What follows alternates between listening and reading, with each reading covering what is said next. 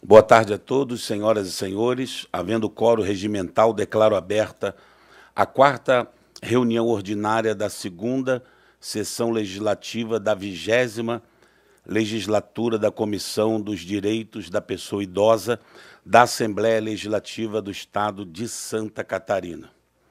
Quero cumprimentar aqui o nosso vice-presidente, né, o nosso deputado Sorato, o deputado Emerson, deputado Berlanda, que está né, remoto, e queremos colocar em discussão e votação a ata da terceira reunião ordinária da segunda sessão legislativa é, da vigésima legislatura.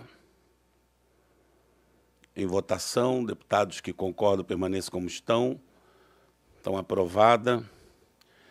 Nós temos feito esse, esse roteiro né, nos municípios, com palestras sobre a saúde e a segurança da pessoa idosa, a saúde mental e física, é, deputado Entes, deputado Sorato, e tem sido muito bom. E os municípios estão nos pedindo né, que seja, que faça-se também esse encontro né, nos municípios, que nós vamos aprovar daqui a pouco, se assim todos concordarem, né, esse requerimento. Então nós temos um vídeo é de Maruí.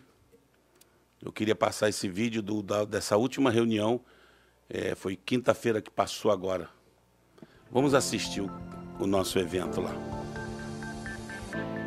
Após os 60 anos, muitos desafios surgem para a saúde e segurança dos idosos. Perda de massa muscular, mobilidade reduzida e o aumento do risco de doenças cardiovasculares são apenas alguns deles. Com o intuito de discutir esses desafios e promover mais saúde e bem-estar para a terceira idade, a Assembleia Legislativa de Santa Catarina, por meio da Comissão dos Direitos da Pessoa Idosa, realizou o encontro municipal em atenção aos cuidados com a saúde e segurança da pessoa idosa no município de Maruí.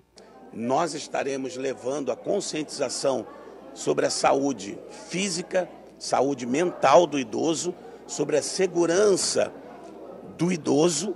Então, isso é muito importante cuidar da pessoa idosa para que ela possa cada vez mais, né, envelhecendo com saúde, envelhecendo com qualidade de vida. A atividade física ela é fundamental para a pessoa de 60 anos ou mais ter um envelhecimento saudável. Né?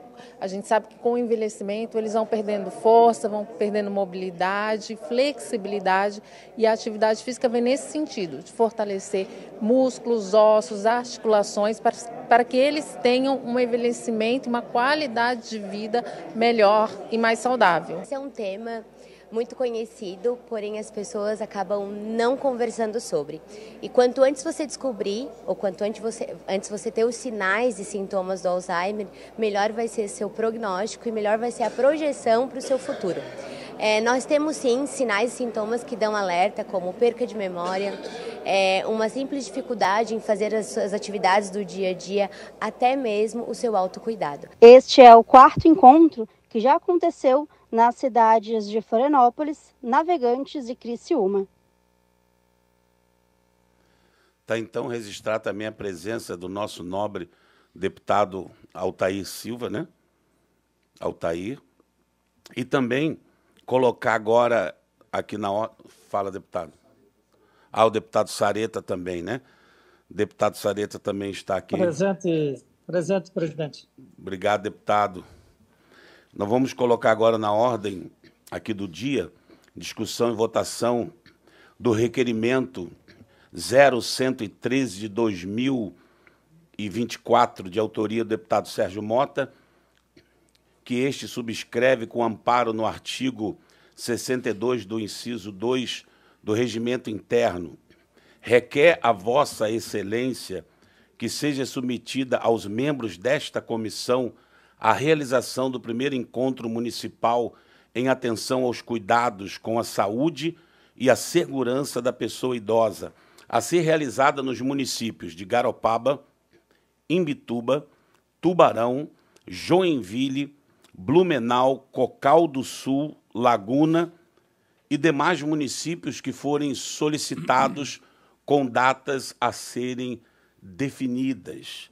Né? Muitos têm pedido para que nós possamos levar esse encontro municipal em atenção ao cuidado né, com a saúde da pessoa idosa. Então, esses são os municípios aqui citados, né, em datas a serem definidas.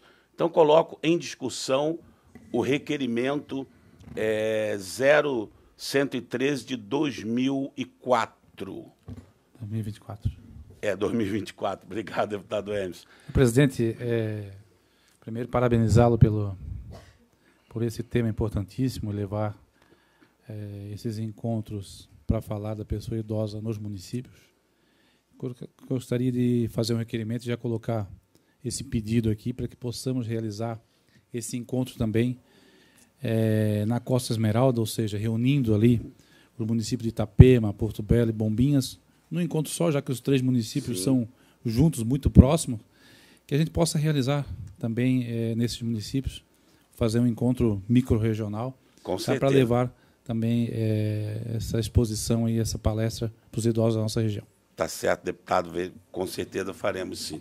Senhor presidente, sim, é, também gostaria de lhe parabenizar pelo requerimento e, quem sabe, colocar também uma discussão, já que o encontro fala da saúde física e saúde mental é, dos idosos, uma das coisas que está nos preocupando muito são essas questões dos empréstimos consignados, é, a utilização, muitas vezes, do nome do aposentado, do idoso, é, para obter um, um, uma vantagem para terceiros. E quem sabe a gente linkar nesse mesmo encontro, levar alguém, algum jurídico aqui da casa, que possa explicar para os aposentados quais são os seus direitos, onde que ele pode buscar, e também nos municípios que serão visitados, pedir para que compareça é, o PROCON do município, quando houver, para que eles possam lá também é, colocar para os aposentados aquilo que o PROCON tem à disposição dos aposentados para combater tanto esse, essa ocorrência dos empréstimos consignados feitos por terceiros em nome é, dos aposentados, como também para que eles possam buscar os seus direitos, é, que, porque a gente sabe que muitas vezes a, as financeiras, as empresas que trabalham com empréstimo consignado, concedem o empréstimo mesmo sem o aposentado ter pedido.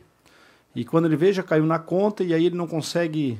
E eu acredito que o PROCON deve ter uma ação um pouco mais enérgica nisso. Seria só uma ideia para colocar também, porque isso está afetando a saúde mental é, dos idosos. Com certeza, essa do PROCON muito válida, porque da, do, do, do, consignado, dos empréstimos, o coronel que tem ido, né, cada município a gente escolhe do, ali do município, o comandante da polícia, e ele tem falado muito sobre isso desses golpes, coloca no slide, né, no, no, telão e explica. Agora, essa do PROCON, nós vamos, com certeza, cada município que formos, vamos chamar o pessoal do PROCON para dar também esses esclarecimentos e até dados, né, enfim, de pessoas que têm, é, idosos que têm caído muito nesses golpes. Então, tá certo. Mais alguém para discutir o requerimento? Não havendo quem queira discutir, coloco em votação. Os que forem favoráveis, permaneça como estão. Aprovado, então, o requerimento. Agradeço, então, a presença de todos os senhores. Não havendo mais assunto a tratar, declaro encerrada a presente reunião.